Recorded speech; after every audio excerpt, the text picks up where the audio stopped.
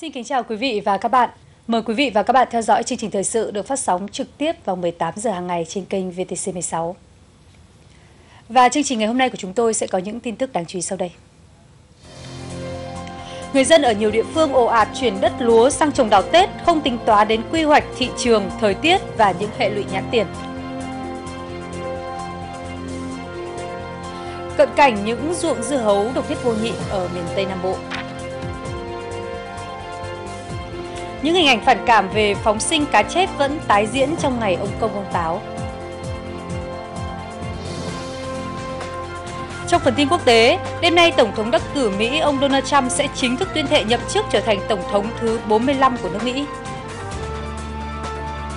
Tại Iran, sập nhà cao tầng đã ít nhất 20 lính cứu hỏa bị thiệt mạng. Thưa quý vị, thưa các bạn, vào năm 2016 thì mô hình nuôi tôm càng xanh toàn đực sen lúa đã bắt đầu được triển khai thử nghiệm ở tỉnh Bạc Liêu và những ngày vừa qua mô hình nuôi tôm hoàn toàn mới này đã cho thu hoạch. Gia đình anh Lê Dũng Linh đang thu hoạch vụ tôm càng xanh. Đây là lứa tôm nuôi thử nghiệm đầu tiên, thế nhưng đã đạt năng suất khá cao. Ước tính vụ này anh thu về hàng chục triệu đồng. Tiên trình tôm càng xanh toàn đực này á thì rất là hiệu quả đối với nông dân vì cái lợi của nó được cái nó hỗ trợ cho lúa luôn hỗ trợ cho nó nó được hai mặt Hộ gia đình ông Nguyễn Văn Hận cũng thăng lớn trong đợt thu hoạch tôm vừa qua.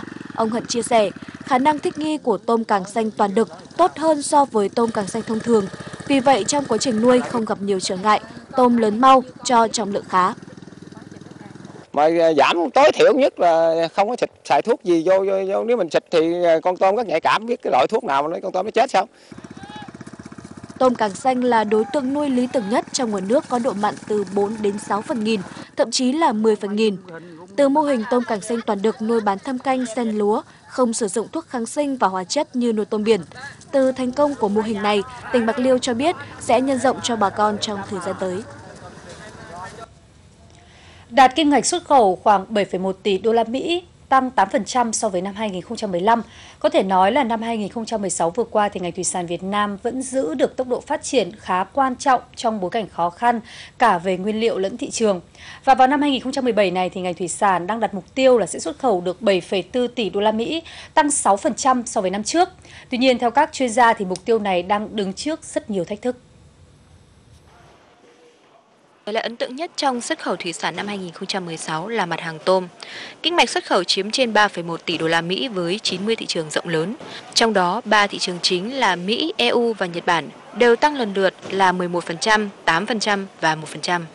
Đặc biệt, thị trường mới nổi là Hàn Quốc với lợi thế đã ký Hiệp định Thương mại Tự do Việt Nam Hàn Quốc vào cuối năm 2015 đã nhập khẩu tôm của Việt Nam với giá trị ước tính trên 200 triệu đô la Mỹ. Trong năm 2016, trong khi các quốc gia đối thủ của Việt Nam là Ấn Độ, Thái Lan, Ecuador, Indonesia đều giảm sản lượng tôm do dịch bệnh, thì sản xuất tôm của Việt Nam lại trúng mùa, trúng giá. Tuy nhiên, ngành tôm vẫn phải đối mặt với thách thức cực lớn từ vấn đề dư lượng chất tồn dư hóa chất khi xuất khẩu vào thị trường khó tính như EU hay thuế chống bán phá giá cao tại Mỹ. Đặc biệt là chất lượng con giống ngày càng thoái hóa đang là vấn nạn đối với ngành nuôi tôm trong nước. Nếu tỷ lệ nuôi sống ở Ấn Độ, ở, ở Indonesia chẳng hạn thì họ nuôi sống có thể tỷ lệ được 70% thì tỷ lệ nuôi sống của tôm Việt Nam hiện nay không quá 35%. Con giống thì chúng ta chưa tạo được con giống riêng. Con giống chúng ta hoàn toàn tôm bố mẹ chúng ta phải nhập khẩu của các tập đoàn nước ngoài. Con giống ấy nó không họ sản xuất ra không phải để nuôi trồng trên đất Việt Nam. Cá tra là mặt hàng xuất khẩu chủ lực thứ hai của thủy sản Việt Nam. Điểm ấn tượng của năm 2016 là Trung Quốc đã vượt qua EU, trở thành nước tiêu thụ cá tra lớn thứ hai từ Việt Nam. Dự kiến Trung Quốc hoàn toàn có thể vượt qua Mỹ, quốc gia đang dẫn đầu về tiêu thụ cá tra từ năm 2011 đến nay trong tương lai gần. Theo Hiệp hội Chế biến và Xuất khẩu Thủy sản Việt Nam và SET, sản xuất cá tra trong nước tiếp tục là bài toán khó đối với người nuôi cá và doanh nghiệp khi giá cá tra tiếp tục giảm sâu. Bài toán thiếu nguyên liệu sản xuất trong năm 2017 là lo của không ít doanh nghiệp chế biến cá tra. Ở đây tôi có thể khẳng định một điều, cái diện tích hiện nay ao trống bỏ trên 50%. Mà nếu mà coi như vậy là có con giống để đủ thả lợi thì phải sau tháng tư. thì con cá mà nuôi để có sai xuất khẩu thì coi như vậy là nó phải mất 8 tháng. Có nghĩa là trong năm 2017 sản lượng cá tra thiếu hụt 50%. Tuy nhiên, với hàng loạt những khó khăn về thị trường tiêu thụ, về rào cản thương mại, rào cản kỹ thuật, thuế chống bán phá giá, hay mới đây nhất là việc EU nghi ngờ Việt Nam gian lận thương mại khi mua tôm từ Ấn Độ về và bán vào EU để hưởng lãi suất thấp, đang khiến người nuôi và doanh nghiệp bất an. Có thể thấy năm 2017 sẽ đầy bất chắc cho ngành thủy sản. Thưa quý vị, thưa các bạn, sau các đối tượng bị ảnh hưởng trực tiếp bởi sự cố môi trường biển là các chủ tàu và lao động trên biển, thì tỉnh Quảng Trị cũng đã bắt đầu chi trả tiền đền bù đợt 2 cho số hộ dân nuôi trồng thủy sản ở các xã bị ảnh hưởng theo quyết định của Thủ tướng Chính phủ. Xã Triệu An là một trong bốn xã đầu tiên ở huyện Triệu Phong được chi trả tiền đền bù đợt 2.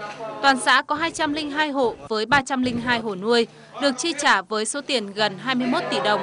Qua quá trình kê khai xác định thiệt hại, từng hộ nuôi đã được chính quyền xác định kỹ lưỡng, số tiền bồi thường cũng được niêm yết công khai, nên việc chi trả bồi thường diễn ra ở địa phương này rất thuận lợi. À, sau khi nhận được số tiền thì tôi tỉnh à, tiếp tục nghề nuôi trồng thủy hải sản và đầu tư lại số vốn ban đầu để cải tạo ao hồ tiếp tục nuôi. Với bản thân gia đình tôi thì về để là số tiền đó về để là sắm ngư cụ, nghề nghiệp, sắm thêm là vuông quạt vì mua giống lại để thả. Đại bộ phận đa số bà con rất là vui mừng và nhận cái tiền đền bù của uh, chính phủ đưa ra là người ta rất thỏa mãn. Phải nói là được cái quả đó là trong quá trình uh, Triệu An đã tổ chức một cái quy trình ra soát ừ, rất là kỹ uh, từ vấn đề kê khai, từ vấn đề ra soát Đặc biệt là chúng tôi đã tổ chức họp dân và đưa ra từng trường hợp một, từng đối tượng một để cho dân tham gia. Và sau đó chúng tôi sẽ công khai niêm yết tất cả các điểm từ thôn đến xã. Trong đợt chi trả lần 2 cho đối tượng nuôi trồng thủy sản này, toàn huyện Triệu Phong có 297 hộ nuôi, trên 151 hecta hồ nuôi với số tiền chi trả gần 39 tỷ đồng. Thời gian vừa qua trên địa bàn các khu vực Tây Nguyên thì thường xuyên xảy ra tình trạng cắt trộm chồi bơ hay là cà phê, khiến cho người dân rất phẫn nộ. Và liên quan đến sự việc này thì công an huyện Bảo Lâm của tỉnh Lâm Đồng cho biết là vừa tạm giữ được 4 đối tượng cắt trộm chồi bơ giống trên địa bàn. Trước đó vào tối ngày 18 tháng 1, nhóm đối tượng này đã bố trí người cảnh giới và đột nhập vào vườn bơ của ông Phạm Văn Chính, ngụ tại thôn 8, xã Tân Lạc, huyện Bảo Lâm, tỉnh Lâm Đồng để cắt trộm chồi bơ. Sau đó bị người dân địa phương phát hiện bắt quả tang và giao cho công an huyện Bảo Lâm xử lý. Tăng vật thu giữ từ các đối tượng gồm hai kéo cắt cành dùng để cắt chồi bơ và hơn 300 chồi bơ được các đối tượng trộm tại vườn của ông Chính cùng hai xe máy. Tại cơ quan công an, các đối tượng khai nhận rủ nhau từ tỉnh Đắk Lắk qua thành phố Bảo Lộc thuê nhà trọ để thực hiện hành vi trộm chồi bơ về để bán cho các vườn ươm bơ trên địa bàn tỉnh Đắk Lắk. Được biết là trong thời gian qua trên địa bàn các huyện Di Linh, Bảo Lâm và thành phố Bảo Lộc thì đã liên tiếp xảy ra nhiều vụ trộm cắp chồi bơ giống gây thiệt hại về kinh tế và gây ra tâm lý hoang mang trong nhân dân. Hiện thì vụ việc đang được công an huyện Bảo Lâm mở rộng điều tra để xử lý theo quy định của pháp luật. Tiếp tục là những thông tin đáng chú ý khác. Thưa quý vị, thời tiết thất thường đang khiến cho các ruộng hoa ly Tết ở Hà Nội nở sớm và rụng đỏ gốc trong những ngày vừa qua. Có nhiều hộ đầu tư lớn trồng hoa đã thiệt hại hàng chục triệu đồng. Tại làng hoa Tây Tịu thì nhiều ruộng ly nở sớm từ 15 cho tới 30 ngày trước Tết. Hoa nở sớm rụng đỏ gốc khiến cho mỗi gia đình trồng ly bị lỗ từ 50 đến 60 triệu đồng một xào vì phải bán giá rẻ. Thời tiết nắng nóng, sau đó gió mạnh, trời lại đổ mưa là nguyên nhân chính khiến cho hoa ly nở sớm và rụng hết. Nhiều gia đình tính đến phương án ướp lạnh hoa ly để bảo quản trong dịp Tết nhưng chi phí bị đội lên và cộng với việc là hoa tới tay khách không đẹp và kén khách nên không dễ để thực hiện. Một bó hoa ly ba tai hiện được bán với giá từ 200.000 đến 250.000 đồng. Loại ly từ 5 đến 7 tai có giá khoảng 400.000 đồng. Có thể nói là những năm gần đây thì nhu cầu về hoa tăng cao, đặc biệt là các loại hoa để phục vụ dịp Tết Nguyên đán. Thế vậy nên ở nhiều địa phương trồng lúa thì nhiều người dân đã ồ ạt đầu tư sản xuất hoa và không tính đến những quy hoạch thị trường về thời tiết nên dẫn tới thua lỗ. Và câu chuyện hàng ngàn người dân ở đồng bằng sông Hồng đua nhau chuyển dụng lúa sang trồng đào Tết ngay sau đây là một ví dụ cảnh báo rõ nét. Cách đây 2 năm, thấy đào Tết bán được giá, nhà ông Bình và hàng trăm hộ dân ở xã Minh Tân đã chuyển hơn 60 hecta ruộng lúa sang trồng đào. Năm ngoái rét quá, đào không nở được nên mất mùa. Năm nay thời tiết ấm khiến đào nở đỏ rực cũng lại thất thu. năm nay thì nói thực là toàn dân là là là thua thất bát nhiều thế nhưng mà không không biết là kêu ai được bây giờ đành phải chịu chứ biết làm sao được bây giờ những cây đào nở sớm bị thất thu đã đành nhưng với rất nhiều vườn đào được mùa và rất đẹp thì cũng rất khó bán và nguyên nhân là đây. Cái số lượng đào nó nhiều quá mà cái đầu ra của bà con thì không không không không no được là bây giờ ở đâu cũng thế người ta phát triển rồng nhiều lắm. Quá nhiều cho nên năm nay thất thu nhiều lắm. Đây cánh đồng tôi còn bát ngàn đây này. Đây các anh xem đấy còn bát ngàn đấy có bán được đâu? Đây biển hãn treo đấy có bán được đâu? Bán rẻ đấy ví dụ.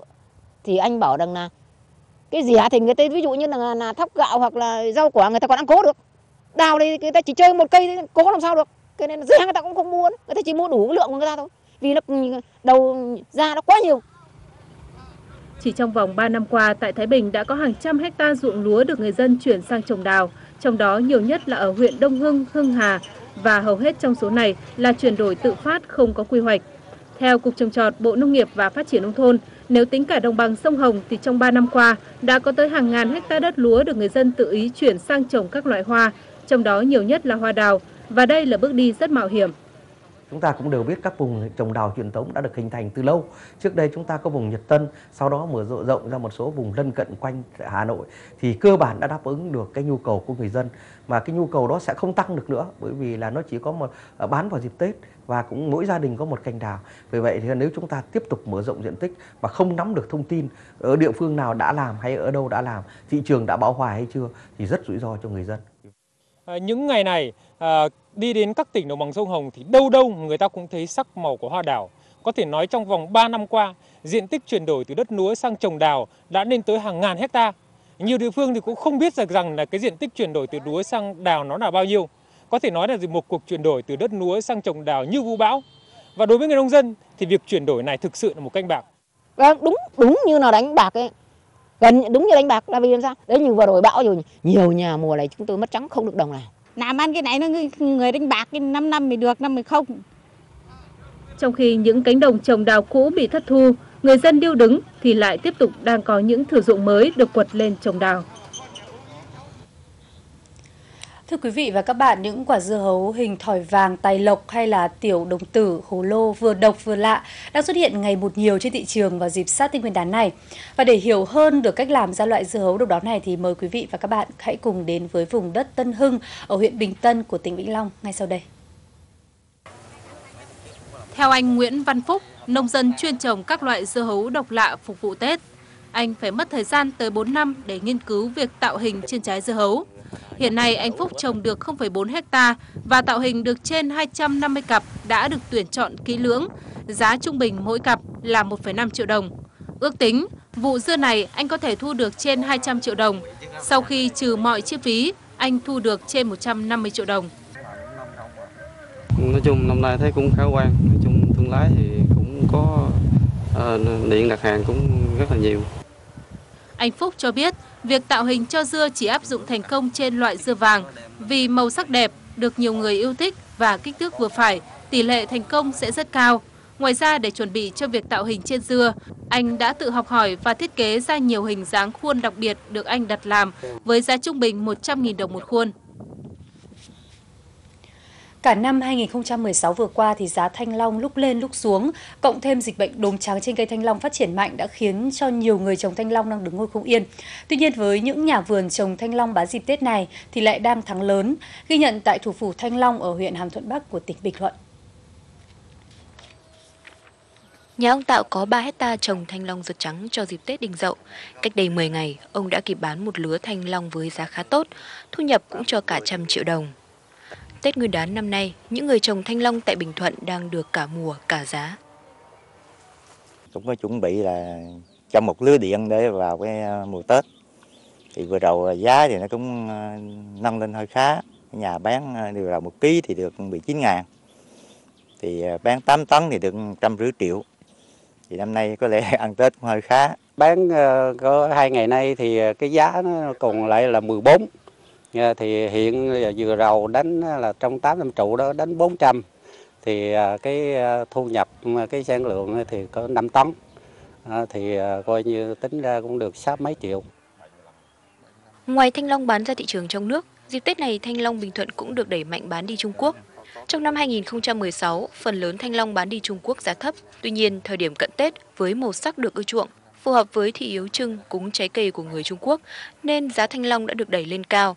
Nhiều nhà vườn cũng vớt vát lại thu nhập. Thị trường Quốc thì có lúc này lúc nọ, có lúc thì nó, nó rớt giá thể thảm quá thấp, có lúc thì bán cũng được, ờ, hồi vốn hoặc có lãi, có lãi chút ít. Ví dụ như rồi thì tôi có bán một pha cách đây 10 ngày thì giá được 17. Thì nếu với cái giá đó thì cũng coi là tạm ổn được. Chứ còn như trước đưa nữa thì cái cái giá năm bảy ngàn rất là thấp. Trong cái dịp Tết này thì là giá thanh long á, thì tức là về về cái nông về cái cái cái sản lượng của bà con á, thì là vẫn cung ứng đủ cho cái thị trường Tết. Nhưng mà có một điều là hiện nay mình phụ thuộc vào thị trường Trung Quốc quá cho nên là giá thanh long nó là lên xuống là nó chưa được có ổn định nhưng mà cái giá của trị của trái thanh long mà hiện nay trong cái thị trường Tết thì bà con cũng kiếm được giá bữa nay là giá thị trường là tới số vườn là tầm cỡ 13.000 cho một ký thì là bà con cũng kiếm được lợi nhuận được 15-20%. Toàn tỉnh Bình Thuận có khoảng 28.000 hecta thanh long. Tuy vậy, 80% sản lượng thanh long ở đây chủ yếu bán đi thị trường Trung Quốc, vốn rất ít khi được ổn định. Vâng, không chỉ ở Bình Thuận mà ở nhiều địa phương chuyên trồng thanh long thì thị trường Trung Quốc vẫn luôn là thị trường chính.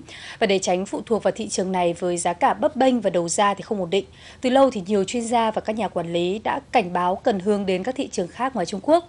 Tuy vậy, với yêu cầu khắt khe về an toàn vệ sinh thực phẩm, trái thanh long của nước ta nếu không thay đổi cách trồng và cách tiếp cận thị trường thì thật không dễ để có thể vào các nước EU hay là Mỹ. Trang trại này rộng khoảng 350 hecta của công ty Thanh Long Hoàng hậu ở huyện Hàm Thuận Bắc. Phần lớn thanh long ở đây được xuất khẩu chính ngạch qua thị trường châu Âu và nhiều nước Đông Nam Á. Tất cả là nhờ trồng theo quy trình Global Gap, đảm bảo các tiêu chuẩn về xuất khẩu. Nói chung là Hoàng hậu là toàn bộ là trang trại Hoàng hậu là thực hiện cái tiêu chuẩn Global Gap và bán cả thị trường trong nước cũng như là bán xuất khẩu vào thị trường châu Âu và tất cả các nước. À, riêng Thanh Long Hoàng hậu thì chúng tôi lại tập trung vào thị trường châu Âu nhiều hơn à, với ờ, giá trị khoảng cỡ 7 80 phần trăm là xuất vào thị trường châu Âu còn lại thì xuất thị trường các nước Đông Nam Á và trong đó có một ít của Trung Quốc. Ở nước ta đa số nông dân sản xuất thanh long với quy mô nhỏ lẻ, hậu quả là rất khó để quản lý dịch bệnh, áp dụng hệ thống quản lý chất lượng tiên tiến hay các quy trình sản xuất an toàn. Đây là rào cản khiến thanh long Việt Nam khó vào được các thị trường khó tính. Các cái cơ quan chức năng của nhà nước các cơ quan chuyên môn đòi hỏi phải vào cuộc triệt để làm thế nào quy hoạch vùng thanh long thành cái vườn lớn cũng như là phát triển các hệ thống hợp tác xã à, đồng thời coi như là à, đầu tư vào khoa học kỹ thuật và kiểm soát dịch bệnh vì hiện nay cái tình hình dịch bệnh là tình hình gây nhất trong vấn đề việc thanh long sản xuất thanh long của tại Bình Thuận. Theo Bộ Nông nghiệp và Phát triển nông thôn, để hướng đến thị trường xuất khẩu ổn định hơn cho trái thanh long, cần tạo sự liên kết giữa người nông dân và doanh nghiệp trong chuỗi sản xuất, chế biến và tiêu thụ. Có như vậy mới kiểm soát được an toàn vệ sinh thực phẩm, giúp doanh nghiệp chủ động vùng nguyên liệu sạch, phục vụ cho xuất khẩu. Để mà thực hiện cái mô hình liên kết đó, thì tôi nghĩ là các doanh nghiệp thì không thể nào mà mỗi một doanh nghiệp đi ký từng hộ hộ nông dân để chúng ta mua sản phẩm được. Tốt nhất là củng cố phát triển các cái tổ hợp tác hợp tác xã để mà gắn liên kết. Hiện nay trên cả nước rất nhiều hợp tác xã mà đảm bảo an toàn vệ sinh thực phẩm, đảm bảo là sản phẩm sạch để ký với các doanh nghiệp. Thì tôi nghĩ đây là cái cái biện pháp, cái giải pháp và cách làm tốt nhất để phát triển sản xuất thanh long an toàn và bền vững, lãnh đạo Bộ Nông nghiệp và Phát triển Nông thôn cho biết, Bộ này đang triển khai xây dựng kế hoạch, bố trí nguồn vốn và các dự án để hỗ trợ xây dựng chuỗi liên kết, nhân rộng mô hình sản xuất, kết hợp phòng trừ dịch bệnh hiệu quả trên cây thanh long.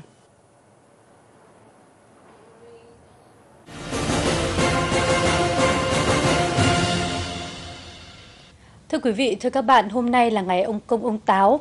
Tại một số tỉnh miền Tây Nam Bộ thì cứ đến ngày này, không ít người dân lại dựng cây nêu, gắn bùa và cầu bình an may mắn cho gia đình. Và phong tục này thì đã có ở miền Tây Nam Bộ từ 50 năm nay. Để dựng cây nêu, người dân phải lựa những cây tre có dáng thẳng, đọt và lá sum xuê.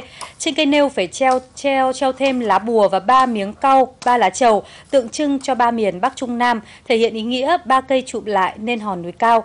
Theo tục lệ này, cứ đến 23 âm lịch hàng năm thì người dân sẽ dựng nêu và hạ nêu vào ngày 27 âm lịch. Phong tục này có ý nghĩa xua đuổi tà ma, trừ quỷ và mong cho gia đình được may mắn cả năm, làm ăn phát đạt. Ngày 23 tháng Chạp, ngày táo quân lên trời và thưa với Ngọc Hoàng chuyện bếp núc và những sự kiện xảy ra trong năm vừa qua ở dưới trần gian. Và theo phong tục từ xa xưa thì mọi nhà sẽ làm lễ để đưa táo quân lên chầu trời và mua cá chép để thả phóng sinh và coi đó là phương tiện để táo quân lên chầu trời. Thế nhưng có một điều đặc biệt là tại làng nghề chuyên nuôi và cung cấp cá chép đỏ ra ngoài thị trường để phục vụ cho hoạt động tín ngưỡng này thì à, lại không có truyền thống cúng ông công ông táo. Đó là làng Thủy Trầm ở xã Tuy Lộc, Cẩm Khê, Phú Thọ. Vì sao lại như vậy? Mời quý vị cùng đến với phóng sự ngay sau đây.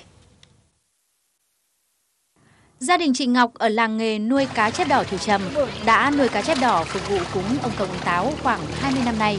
Thế nhưng chị cũng như nhiều hộ nuôi cá trong làng đều không có tục cúng táo quân vào ngày 23 tháng Chạp.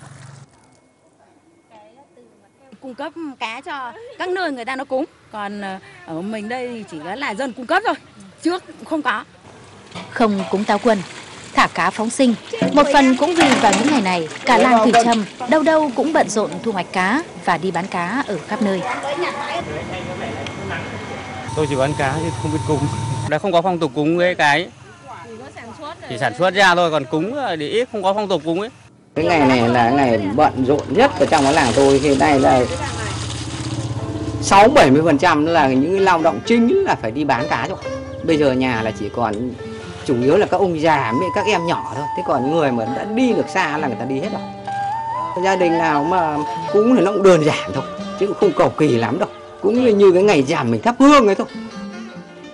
Các gia đình làm thành sửa mới lương hàn hâm. Vài năm trở lại đây, một số hộ cũng đường, làm mâm cúng táo quân các vào ngày 23 tháng Chạp. Nhưng à, bao hàm cả ý nghĩa, à, nhớ ơn tới các ngày này táo, vì đã cho họ làng nghề ổn định và những ước vọng đỏ cho năm mới. Ừ.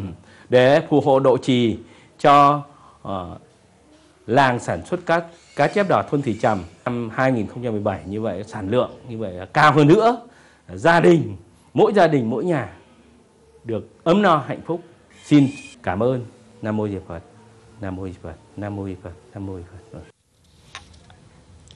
Thưa quý vị, thưa các bạn, trong ngày Tết ông Công ông Táo 23 tháng Chạp thì ờ, vấn đề vứt túi ni lông bừa bãi khi mà phóng sinh cá chép thì đã được chúng tôi phản ánh rất là nhiều trong những năm qua. Tại khu vực Hồ Tây, Hà Nội, một trong những điểm phóng sinh cá chép chính ở thủ đô Hà Nội thì ờ, theo ghi nhận của phóng viên chúng tôi, tình trạng này năm nay đã được khắc phục đi rất nhiều. Ngay từ sáng sớm, tại khu vực Hồ Tây, nhiều người dân đã đến để thả cá phóng sinh. So với nhiều năm trước, đặc biệt sau sự cố ô nhiễm khiến cá chết hàng loạt tại đây, nhiều người dân đã ý thức hơn trong việc xả rác sau khi thả cá. Những tấm pano áp phích với thông điệp thả cá đừng thả túi ni lông đã được các bạn tình nguyện viên đặt xung quanh khu vực. Ngày Ông Công ông Táo là một văn hóa nét đẹp của truyền thống à, mà có ai nghĩ rằng là thả con cá để cho ông Táo, ông cởi cá bay về chơi thì có lẽ chúng ta chưa bao giờ ai nhìn thấy. Tuy nhiên à, thả cá thế nào cho nó phù hợp, chúng ta không thả mà để con cá phải chết mà và cả thả con cá một cách nhẹ nhàng. Tuy nhiên à, về cái môi trường nước cũng vậy, chúng ta cũng phải để giữ cho trong sạch thì cá mới sống được. Thì chúng ta không nên thả cho và thả những cái rác rến ở dưới dòng sông như vậy. Theo truyền thuyết dân gian, cá chép là phương tiện duy nhất có thể đưa táo quân về trời. Bởi thế vào ngày này, sau khi làm lễ xong, các gia đình đều cúng cá chép rồi đem ra sông, hồ hay ra ao thả, làm phương tiện cho táo quân cưỡi về trời. Trong ngày lễ cúng táo quân hôm nay thì có thể nói là đa số người dân à, đã có ý thức trong khi thả cá tiễn ông công ông táo về trời. Tuy nhiên thì đâu đó vẫn còn những hình ảnh rất phản cảm và đáng để suy ngẫm. Cầu Trương Dương, Hà Nội Không chỉ có cá, cả trò, chân hương và nhiều vật dụng khác trên ban thờ cũng được một số người dân thả xuống lòng sông. Sau khi thả cá, thả trò, túi ni lông cũng được một số người dân vô tư vứt vương vãi đầy lan can cầu. Còn tại thành phố Hồ Chí Minh, cá vừa thả, đã có một số người đi thuyền và mang theo vợt, kích điện để vợt lại cá, nhằm bán lại cho các cửa hàng cá cảnh. Những hành động phản cảm này đã làm mất đi giá trị tốt đẹp vốn có của tục thả cá chép tiễn ông táo về trời. Vâng, cùng tiễn ông công ông táo về trời là một trong những ngày lễ quan trọng nhất trong năm với mong muốn là một cuộc sống no đủ, bếp gia đình luôn lúc nào cũng rực lửa. Tuy nhiên bên cạnh một số hình ảnh phản cảm thì phong tục này hiện cũng đang bị không ít gia đình hiểu sai và có phần biến tướng. Và chúng ta phải hiểu đúng như thế nào về phong tục này thì mời quý vị cùng theo dõi phóng sự ngay sau đây. TV, tủ lạnh, nhà lầu, xe hơi. Với quan niệm trần sao ẩm vậy, nhiều gia đình đã sắm cả những thứ vật dụng vốn được sử dụng phổ biến trong đời sống hiện đại cúng ông công, ông táo trong những ngày này. Tại vì thực ra thì uh, truyền thống thì vẫn phải giữ nhưng mà em nghĩ là chỉ cần theo truyền thống xưa là chúng ta sẽ sắm những cái bộ quần áo đơn giản cho các ông ờ, ông công ông táo hoặc là những cái uh, ba con cá vàng chẳng hạn tượng trưng cho ba ông táo em nghĩ thế là đủ tuy nhiên là bây giờ thì còn người ta còn đốt cả máy bay trực thăng tôi nghĩ là như vậy thì cũng không cần thiết không phù hợp bên cạnh đó thay vì cá chép thông thường ngày nay các loại cá phú quý cũng được nhiều gia đình lựa chọn để thả cá phóng sinh trong ngày Tết ông Công ông Táo. Theo nhiều chuyên gia văn hóa, tư duy về ngày Tết ông Công ông Táo hiện nay đang dần bị thay đổi. Cúng Táo Công bây giờ nhiều khi nó tôi sẽ dùng chữ bi hài tôi nghĩ rằng là có có nhiều tình tiết bi hài vì cái cách trước đây thì người ta thả ba con cá chép có tính tượng trưng nhỏ nhỏ để đưa lên. Nghĩ rằng là vì à, cá chép trước đây nó là một cái à, linh vật ở trên thiên đường à, ở trên trời và phạm tội cho nên bị đẩy xuống hạ giới cho nên con này nó biết đường lên trời. Vì vậy vào cái ngày này nó có thể giúp táo công lên trời rất là nhanh. Nhưng hiện nay ấy, thì với một cái sự hiểu biết rồi khoa học kỹ thuật nông nghiệp phát triển mà thì người ta tạo ra rất nhiều loại cá đẹp trông nó cũng giống giống cá chép rồi nó cũng nhiều màu sắc rồi thì thậm chí có những người là mua những con cá chép rất lớn và thả xuống sông xuống ao thì cái điều này nó sẽ gây ra một cái hiệu ứng rất là phiền hà thậm chí là có những ờ, cái câu chuyện là có thể gây ra hỏa hoạn Tết ông Công, ông Táo vốn là tín ngưỡng, giàu ý nghĩa nhân văn, hướng con người ta tích cực vào làm việc tốt, sống lương thiện. Tuy nhiên, ngày nay, tục lệ này đang bị hiểu sai cả trong hình thức thể hiện. Theo chuyên gia Nguyễn Văn Vịnh, chúng ta cần phải hiểu đúng về phong tục này. Thứ nhất, chúng ta cũng hiểu cái ý đây là một cái tín ngưỡng mà có tính nhân văn về mặt văn hóa mà đã được Việt hóa cho nên nó cũng mang cái hồn cốt dân tộc. Cái à, nghĩ đúng nữa là cái trách nhiệm của mình với cái bếp và với những cái đất đai và cái nhà của mình sống. Thì một ngày, một năm thì có một ngày cho cái việc này thì người ta cũng sẽ nhắc nhở con người cái ý thức bởi vì cái bếp là cái nơi mà tiếp năng lượng cho đời sống. Khi chúng ta có ý thức như vậy thì cách xử sự của chúng ta nó cũng không nên quá lạm dụng, không nên quá sử dụng những cái chuyện nào là điện thoại rồi ô tô, máy bay rồi nọ kia. Thì những chuyện đó thì đấy tôi đã nói đấy là vẽ rắn thêm chân.